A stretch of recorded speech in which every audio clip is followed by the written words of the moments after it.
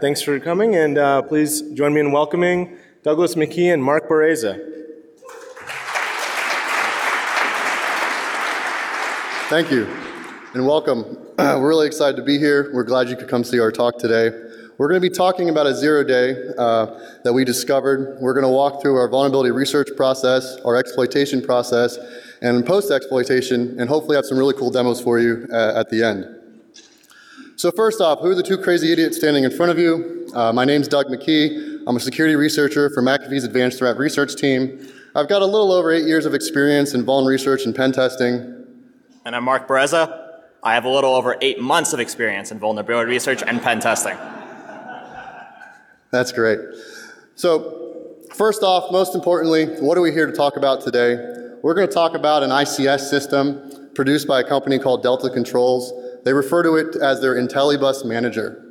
And what this is, is it's called a building controller. It's used to manage systems in a commercial building, things like HVAC, lighting, pressure rooms, etc. And important thing to note is that this device uses a networking protocol called BACnet. That's largely how it manages these devices. BACnet stands for Building Automation Control Network. And I also want to highlight that this is not specific to Delta Systems. This is an industry-wide used protocol. It also has a slight, a little bit of router capability built into it, which I'll touch on here a little bit later. And before I get, go any further, I often get the question, how do you pick your targets or why did you pick this target? Uh, generally at ATR, we try to pick targets that ha can have a very high impact as if they were compromised. Obviously, there's a lot of cr critical systems that, that fall into that. Uh, and this happened to be one that we were able to obtain. And also, something of interest is the fact that it uses the BACnet protocol, therefore, it's network accessible. So, let me take a moment to explain to you how this works in the real world before we jump into hacking this device. So, what you see in front of you is we have a wiring diagram of one of these devices, uh, potentially for an HVAC system. So you have the Delta controller, which talks over a CAN bus to something called modules. At the highest level, these modules take inputs to use, and uses it to control outputs. So that each device is programmed differently from the installer, and depending on the state of those inputs, it changes those outputs. So in the wiring diagram in front of you, assuming it's an HVAC system, depending on the temperature, it'll do something like turn on, on, on or off a boiler, turn on and off a pump, et cetera, et cetera. And this is just one example. It's used across industries for multiple things, which we'll get back to here momentarily.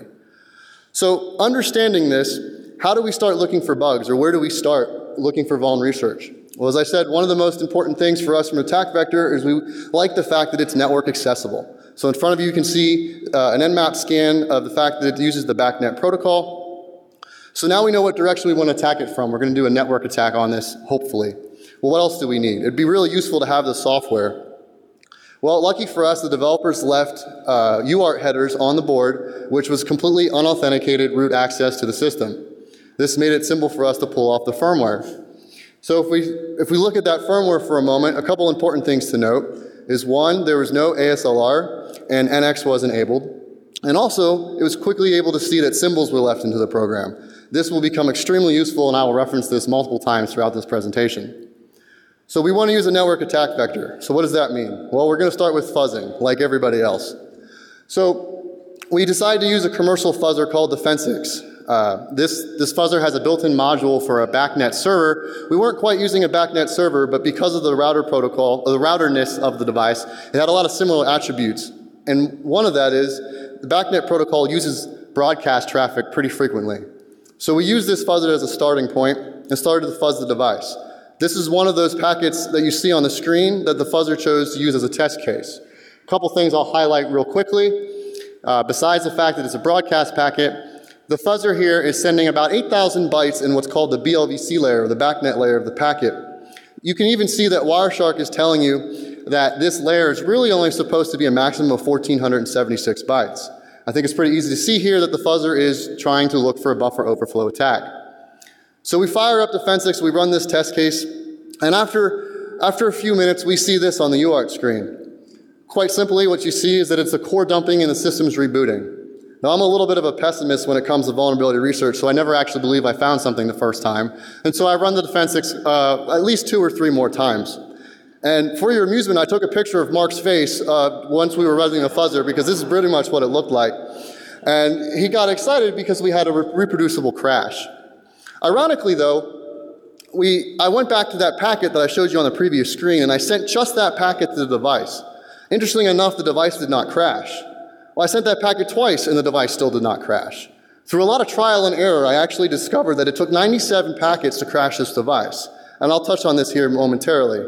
But after discovering it took 97 packets, I was able to do it repeatedly. So that meant it was time to investigate further. Well, as you saw, the system produced a core dump. So let's take a look at that core dump as a first place to start to try to figure out where to move on. Obviously, we have a seg fault here. That makes a lot of sense. The device crashed. But what can we learn about that looking at the registers?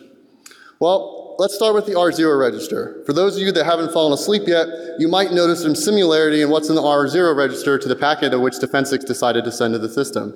There's a lot of 22s or ASCII quotation marks. That's interesting. We know that that's network data.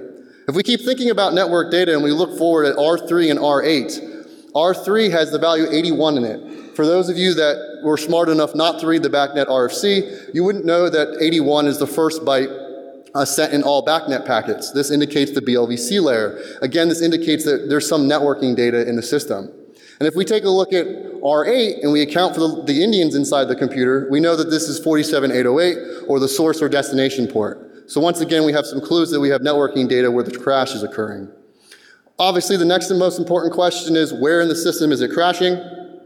Uh, and we can look at the backtrace in the R LR register to give us hints on that. So let's just do that. Let's go to the exact addresses in memory where the crash is occurring.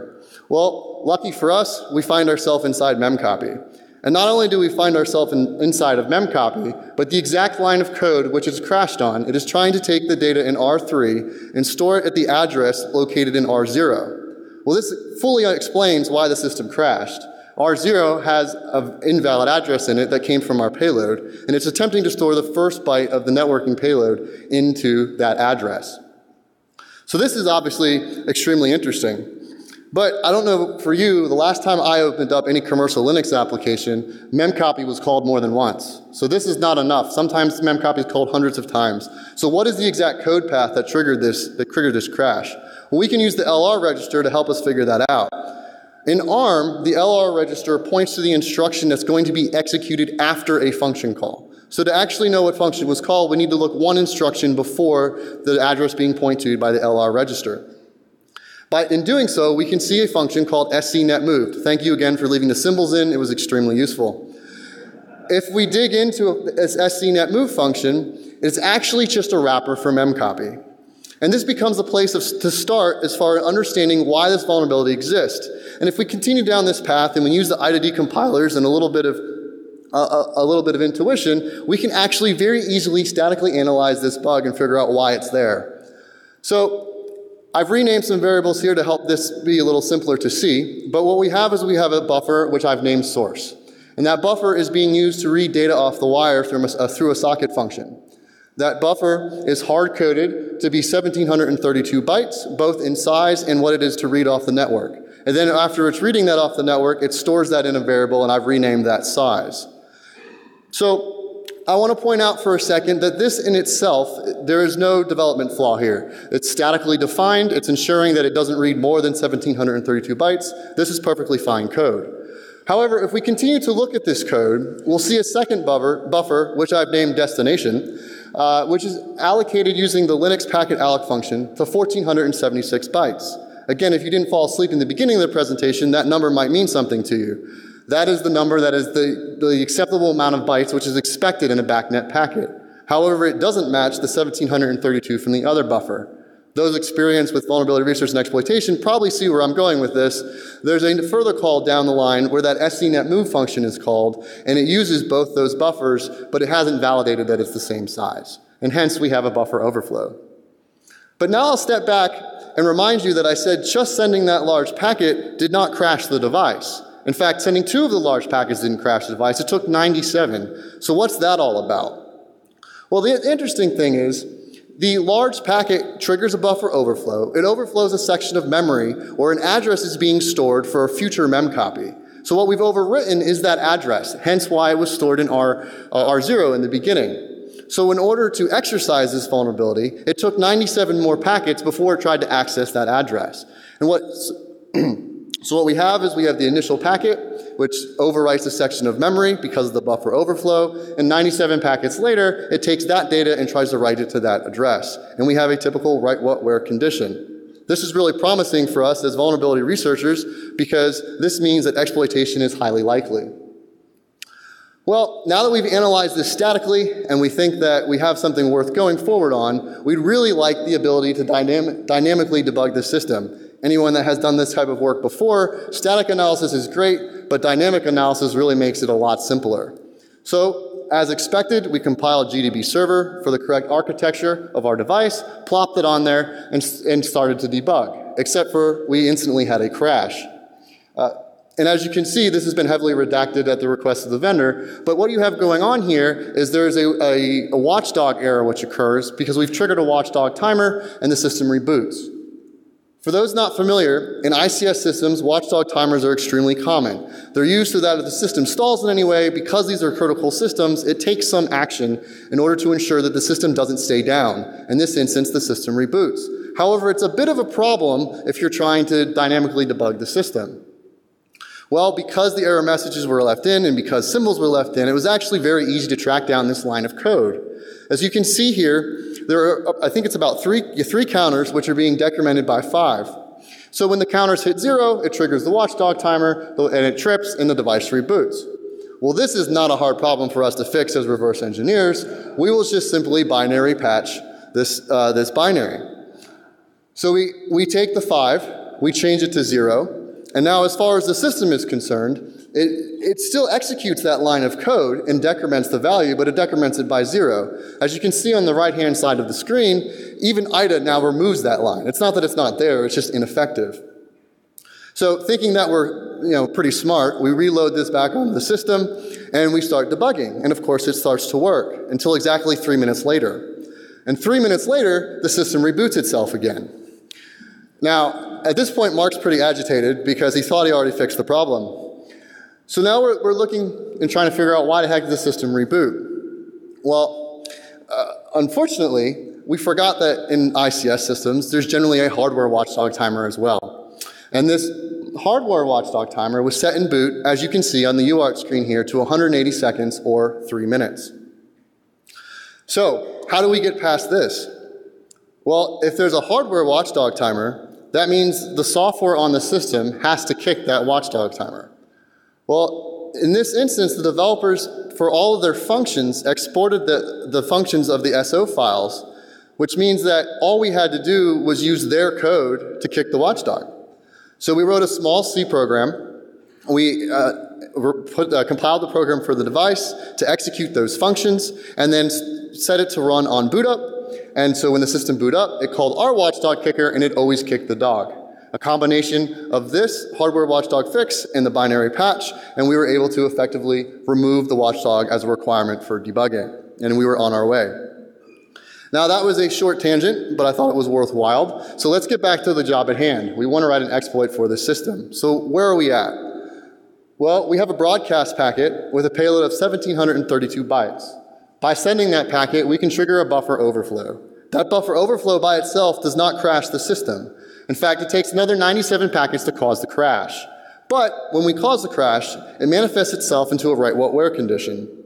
We know from our initial analysis that there is no ASLR enabled on the system, but we do know that NX or DEP is enabled. So the next step is we want execution control. And if we have a write what where condition, this question simply becomes, what do we want to write where? Well, considering that NX is enabled, we want to find a location in memory that is writable that would allow us to gain some control of execution. Lucky for us, there's something called the global offset table. This is uh, native to Linux, and it's a table uh, created at runtime, therefore it is usually writable. And sim simply speaking, it has a list of function names and addresses. When a function is called, it looks up the address for that function, and then it jumps to that section of memory. Well, since we have a write what where and we can write anywhere we want, hypothetically speaking, we could take something like malloc, change the address of malloc, and then when malloc was called, we would be able to jump to our section of code. This would gain us control of execution. But we also need to know what function do we want to overwrite. Now we know where we want to overwrite, but what do we want to overwrite?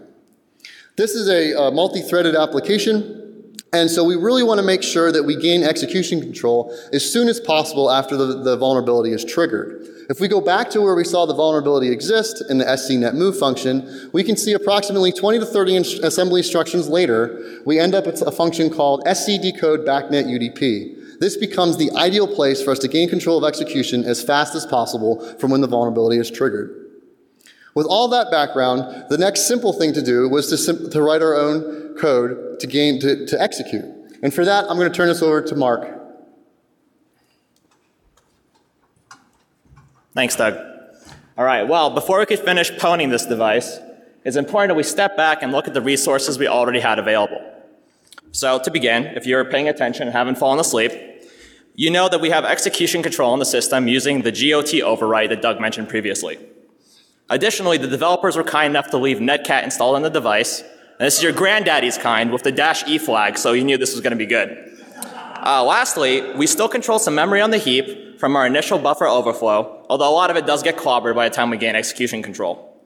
Okay, so that's all well and good. The next question we have to ask ourselves is, what do we want? A simple question, but as Mr. Gosling can attest to, sometimes you just gotta ask. Well, we decided to start pretty simple. We wanted root access, obviously, but ideally we also wanted persistence on the device across reboots. So the last questions we had to ask ourselves were, how do we get this? But more importantly, how do we get it easily? You'll soon see that we still had a very long road ahead of us, so we wanted something quick. Well, by looking back at what we already had available to us, uh, a straightforward way to get root access would be to use the netcat already installed on the device to obtain a root shell, or a reverse shell. We could accomplish this hypothetically by putting some shellcode into that heap memory we control. And this shellcode would essentially uh, store a netcat command for the reverse shell into R0 register, and then branch to the address of the system function in libc. Uh, the system function, as you may or may not know, uh, executes the command stored in its first and only parameter, in this case a netcat reverse shell command stored in R0. This ultimately comes together to create what is commonly referred to as a return to libc style attack. And Although this would not grant us persistence on its own, ultimately we could use our reverse shell in order to alter some of the startup scripts, and that would, that would grant us persistence on the device. So that's all well and good, but if we actually take a look at the heap memory we control, we'll see that it's actually not so easy. So the, the memory we still have in uh, that we control on the heap is the 22 bytes you see in front of you. And particularly, we have the longest continuous chunk that we control is only 32 bytes long, highlighted there in red. Now, why is this a problem? Well, the reason being is that somehow in this 32 byte section, we had to fit all of our shellcode instructions and the command string for netcat, which on its own is 24 bytes. Using some very complex arithmetic, this leaves us with a grand total of two ARM instructions, which is simply not enough to do what we want. Now, I know some smartasses out there are probably thinking to themselves, just use thumb mode, you dingus. Those instructions are half the length. But although this is a great idea, through trial and error, we discovered that thumb mode is actually not enabled on the processor on the device. So that's out. I'm gonna, be, I'm gonna level with you guys here. At this point, we were stuck. I couldn't sleep. I couldn't eat. I even considered switching over to an IoT webcam. Things were looking very, very dark. But suddenly I was struck with some motivation. I thought to myself, and I could, if I could live off of chili chow cup of noodles, registered trademark, for four years, then this should be child's play. And then I got thinking some more. Child's play, children playing, children play hopscotch, memory hopscotch. That was the key. Now, what the hell am I talking about? Well, when we started looking, digging in further, we found that we don't have to just use the 32 continuous bytes. We could use any section of memory we control as long as it's at least 8 bytes long. This grants us one shell instruction and a jump to the next region of memory we control, or hop, if you will. So if we look back at the heap memory we control, you'll see two such regions that qualify. This effectively doubles the number of shellcode instructions we have from two to four, which is a great news. But we weren't out of the woods just quite yet. Unfortunately, ARM is actually very uh, cheap with its immediate values to be to, as an understatement. In fact, it limits them to only a single byte each with optional zero padding left or right. This meant that if we wanted to load the address of system into a register, it would take all four of our instructions, and that wasn't going to fly. Well, thankfully, we were able to use the address already located at R4, because it was pretty close to the address of system, so with a simple offset, we could get there. In the end, this resulted in shellcode that met our tight spa memory space requirements and granted us a reverse shell. But instead of explaining in detail how cool this all is, how about I just show you instead? So here we have a demo video of the reverse shell in action. On the right half of the screen, I hope you can read it, is the UART interface of the device. Now the first thing we're going to do is we're going to run ifconfig to find out that its IP address. So you can see there ends in 7.14. Next, we're going to print out the first few lines of the, of the device's startup script. This is just to prove that we are in fact in the Delta device, and you can see the copyright message there.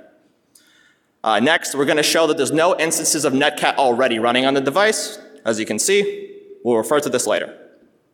Moving over to the attack machine on the left, we start up a netcat listener on port 9. This will capture a reverse shell. And on the same attack machine, we launch our exploit script, which leverages the vulnerability and launches the netcat command you see there. So once it's finished executing, we move back to the UART interface and show that there is in fact an instance of netcat now running that wasn't before. And it has the same command string.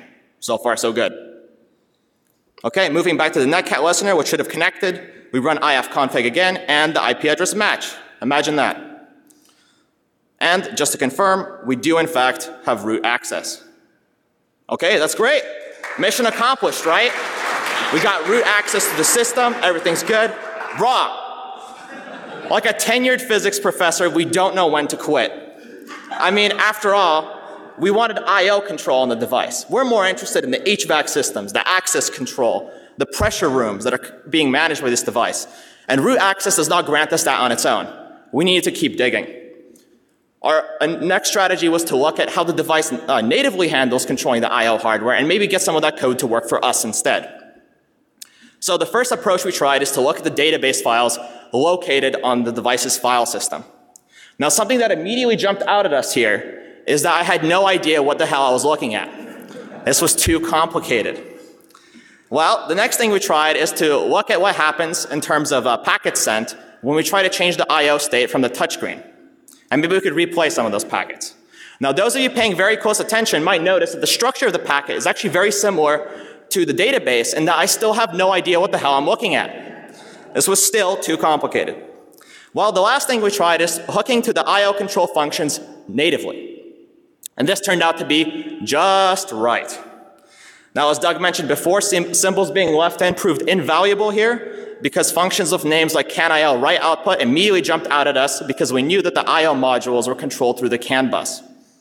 Furthermore, through reverse engineering of these I.O. control functions, we discovered that there was different ones dedicated to controlling each category of I.O. hardware, and there were six such categories. You got your inputs, you got your outputs, and you got variables, and can, these can all be either analog or binary.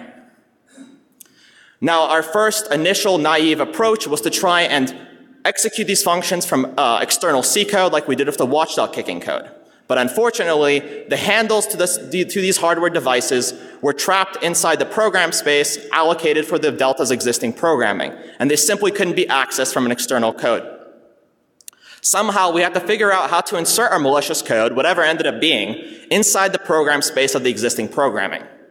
Well, the solution ended up being something called LD preload. And for those that don't know, LD preload is a Linux environment variable. And its job is that any shared objects this variable points to are loaded first by the dynamic linker when a binary is executed. Now, this is not a new or novel idea. This is actually a pretty common approach for inserting code into an existing program's memory space, which is exactly what we wanted to do. So in our case, we uh, used our persistence on the device to alter one of the startup scripts, have this variable point to our malware, and then get it uh, inside the existing programming. Now that's all well and good, but how does this work mechanically?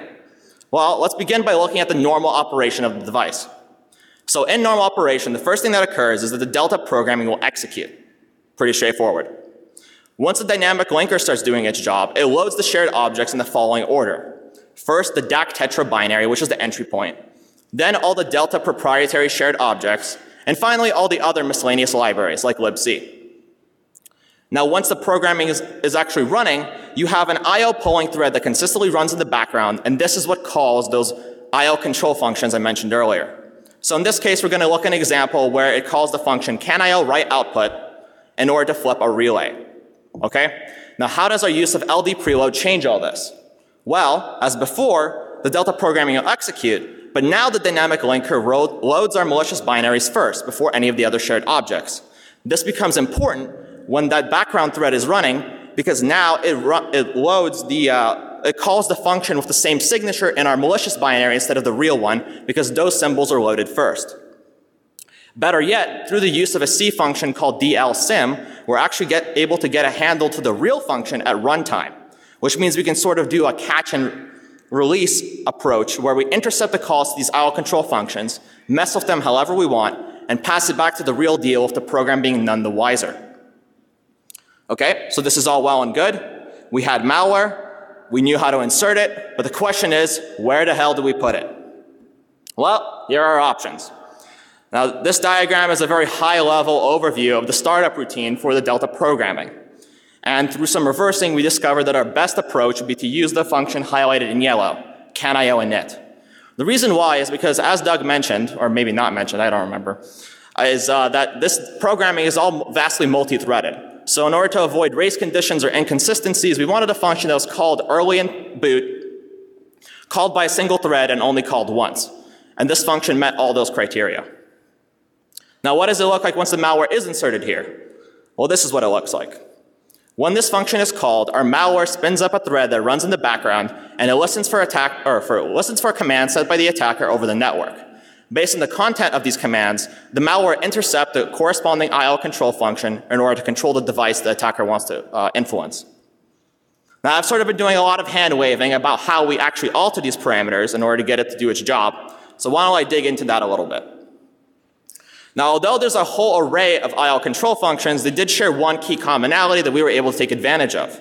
And that's the fact that the first parameter passed to them is a data structure that essentially just describes the hardware being managed or being controlled. So in this case, you see an output of it here through GDB, and highlighted in red is the device's ID, the first four bytes. And this is unique to each device. At a 12 byte offset, highlighted in blue, is the current state of the device, which is actually the most useful. In this case, we have uh, 75 degrees Fahrenheit as a floating point value. And then at an, uh, at an arbitrary offset, you could also find a descriptive string of the device, which is also extremely useful, because this is how we know this device in particular is responsible for monitoring room temperature. Using this information is actually pretty straightforward to just alter the state stored in these data structures, pass it along, and then we have control of I.O. Okay, so now mission accomplished, right? We control the I.O., we got root access. Well, the answer is still no. The reason being is that our motto here at ATR, unofficially, is to overdo everything. And in that spirit, we decided to pimp out our malware with all kinds of premium features. First of which, you get automatic discovery of all the I.O. devices. Sit back and relax as the malware does all the recon for you. Next, you actually get remote control of the malware through an interactive TCP session. My therapist told me that the most important key to a healthy relationship is two-way communication. Now, am I saying this malware will fix your marriage? Yes, that's exactly what I'm saying. Next, you can see the state of all the hardware in real time. So you can see exactly how much damage you're causing. Who said happiness couldn't be quantified? And last but certainly not least, with a single command, you can revert the device to its original, unhacked state, wiping it of any traces that the malware was ever there. And if you call in the next 30 minutes, you can get all this and more for just 30,000 easy payments of 1995. Taxes and shipping not included. And if you're still not convinced, be sure to check us both out at ICS Village where you can see this bad boy in action. Now, we were getting pretty happy with our malware. Our baby was looking pretty good, but we're still missing one key premium feature, and that's a remote attack vector. Now, this looked pretty grim at first because, after all, we were using broadcast traffic, and that typically doesn't travel over the internet. But thankfully, a certain backnet technology came to save the day, and that is BBMD, or BACnet IP Broadcast Management Device. A real tongue twister, but suffice it to say, it allows for the transmission of BACnet broadcast traffic, exactly the kind we're using, imagine that, over uh, the internet between different networks. So on the diagram on the right, you can see two such BACnet networks, each having a BBMD.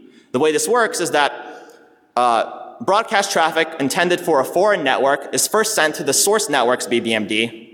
This sends it to the destination network's BBMD, and its job is to rebroadcast it on the destination network. That's a bit of an aside, but how does this help us?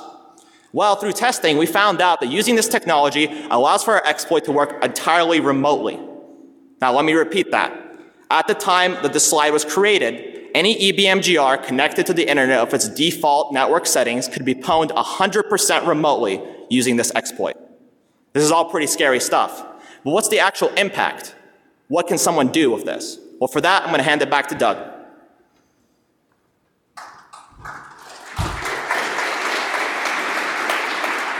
Thanks. So, as Mark said, we confirmed that this would work 100% over the internet. Now, I know everyone in the room will agree with me that no one would ever connect these systems to the internet. That would be completely unreasonable. oh, that's right. Shodan tells us a little bit differently.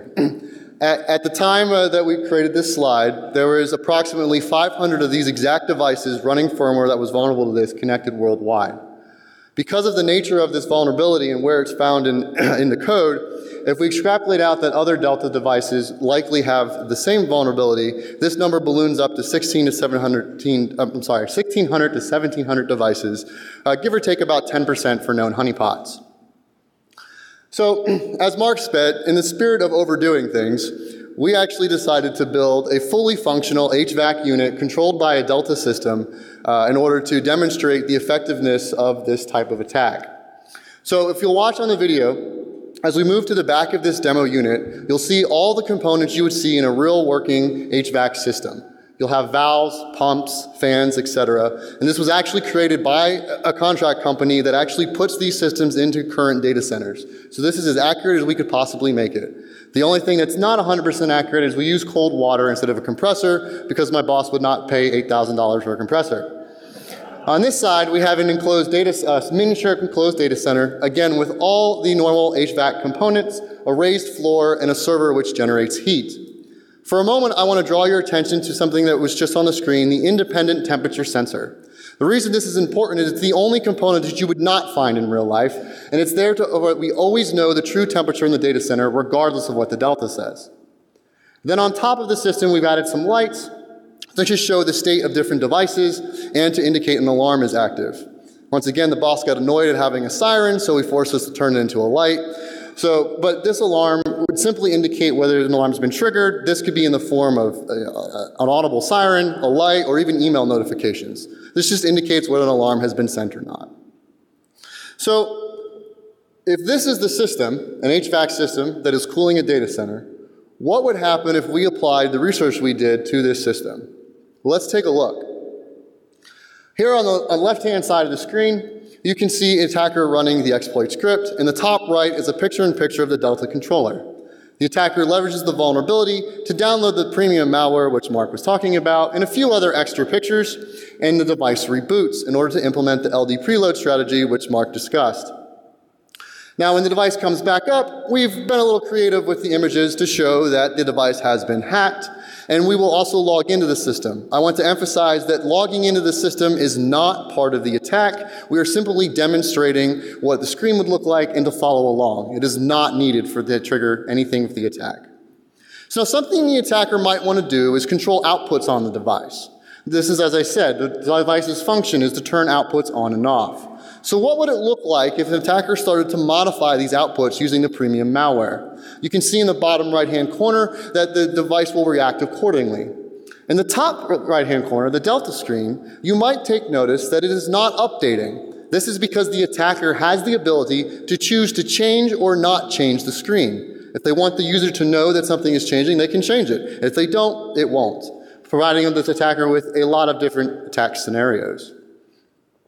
Now, on these type of devices, there are multiple types of outputs. There are analog and binary outputs. What you just saw was binary outputs. we either turn it on or off. Analog outputs require a specific value, a floating point value, like Mark was mentioning of room temperature earlier. So here what we're going to see the attacker do is modify one of these values, and this time the attacker is going to choose to modify the delta screen as well, just proving that we can do it either way. So we have the fan speed and we have the valve. And you'll notice once again that the components on the actual demo rig react as you would expect.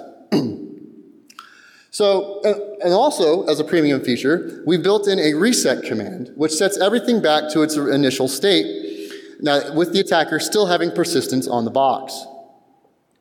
So controlling outputs is kind of fun. We can think of scenarios that we may be able to influence by controlling each individual output. but if you remember from the beginning of my presentation, the devices are designed to take data as input and react.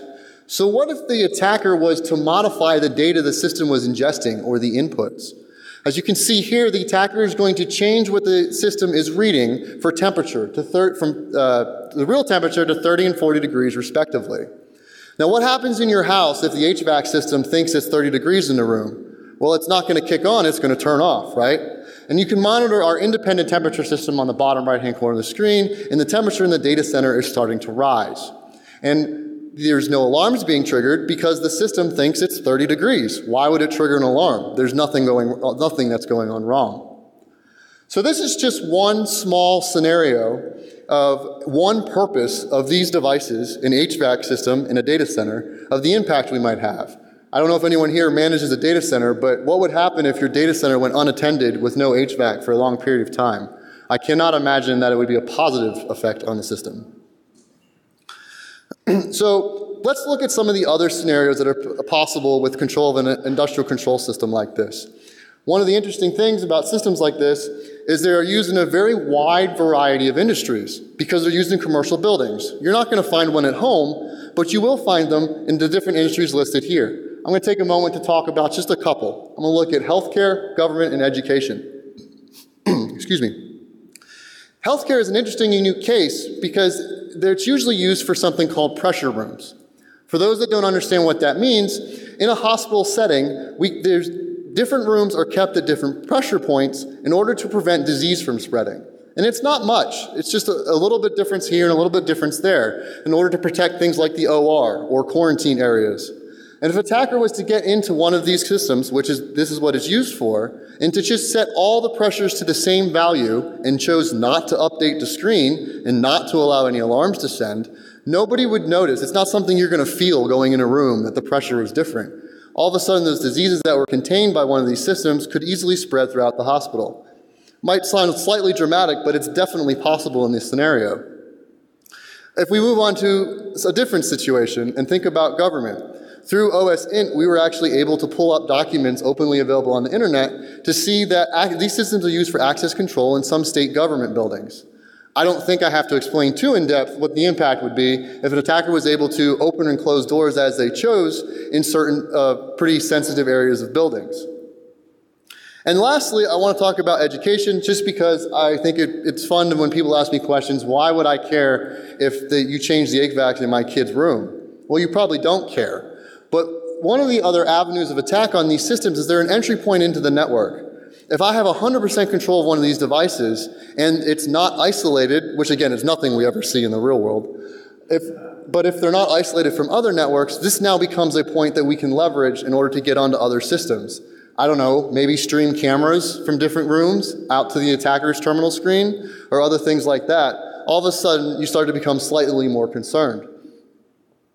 So these are just an example of, of some uses in, in the industry. And because of this, and because that it's a true RCE over the internet, it was assigned a CVSS score of 9.8. Per McAfee's responsible disclosure policy, uh, once we understood what we have, we reached out to the vendor. This was in late 2018. We assigned a CVE number and we started working very closely with the vendor. The vendor was extremely responsive, and as of June of 2019, they have released a patch which fully mitigates this vulnerability. Uh, ATR has also tested the patch and can confirm that it is, uh, in fact, effective. I'd like to take just a moment to highlight this because I think sometimes there's a problem in our industry with security researchers and vendors. Uh, Delta was extremely cooperative. It was wonderful to work with, and we were actually able to come up with a solution to help fix this problem. And I think this really needs to become the gold standard in the industry for security research.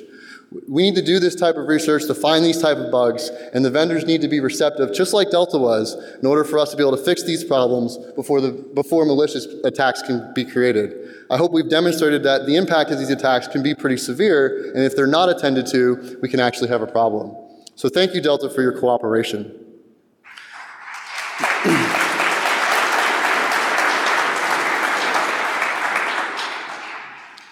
So with that said, that concludes the technical part of our presentation. I thank you very much all for coming. Uh, if you have any questions, as long as the goons allow us to stay up here, we'll answer them, or please see us in the back. I believe that's where they're doing questions. So thank you.